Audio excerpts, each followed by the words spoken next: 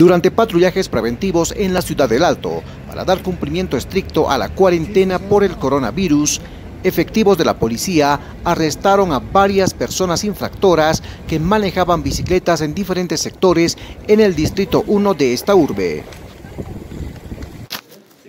Puro irresponsable, saben que hay esa ley. Decreto.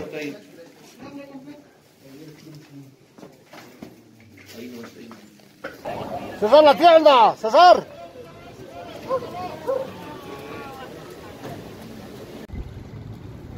Entre tanto, autoridades policiales pidieron nuevamente tomar conciencia a la ciudadanía acerca del grave peligro de la pandemia.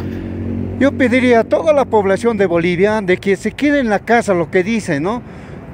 Este, esta compra o tiene que salir, es son de emergencia, únicamente de emergencia para comprar una alimentación o a la farmacia.